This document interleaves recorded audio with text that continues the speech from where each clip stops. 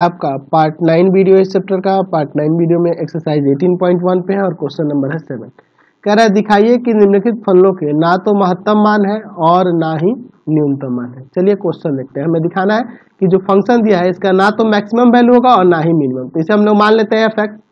F x बराबर में ले लेते हैं। यहाँ पर e to the power minus x इसे डिफ्रेंशिएट करते हैं। जब डिफ्रेंशिएट करेंगे with respect to x x के रेस्पेक्ट में डिफ्रेंशिएट करेंगे तो यहाँ से एफ़ डैश एक्स क्या आएगा? तो e to the power x का e to the power x minus x ही होगा, और माइनस एक्स का माइनस वन यानी कि minus e to the power minus x इसका डिफ्रेंशिएशन हो जाएगा।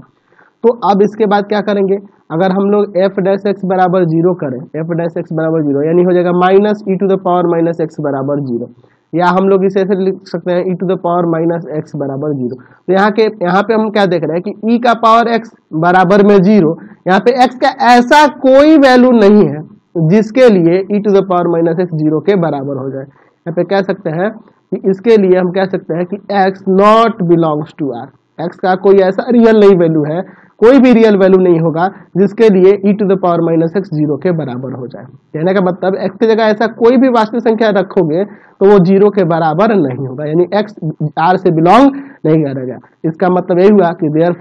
लिख सकते हैं कि फ़ंक्शन एफ़ एक्स जो है f x does not does not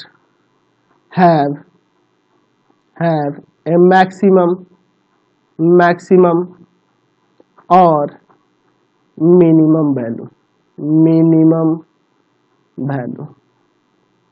ठीक है, इस इस एफ़ एक्स के लिए e to the power minus x के लिए कोई भी मैक्सिमम या मिनिमम वैल्यू नहीं है, क्योंकि इसका कोई हमें एक्सट्रीम पॉइंट ही नहीं आ रहा है, कोई भी रियल एक्सट्रीम पॉइंट नहीं आ रहा है, इसलिए इसका कोई मैक्सिमम या मिनिमम वैल्यू